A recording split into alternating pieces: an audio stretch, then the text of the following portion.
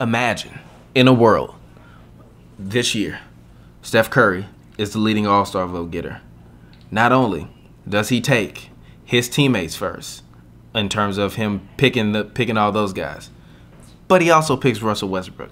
So now him and Russell Westbrook and Kevin Durant have to play with the rest of the Warriors. No, but listen.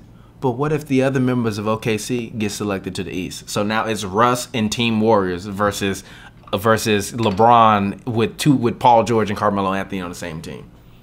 Like all this does is create an infinite amount of what if dramatic storylines for the NBA All Star Game.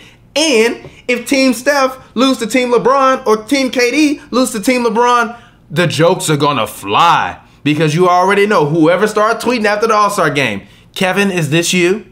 Is this you, Kevin? Are you angry that you lost, Kevin? Is this you, Kevin?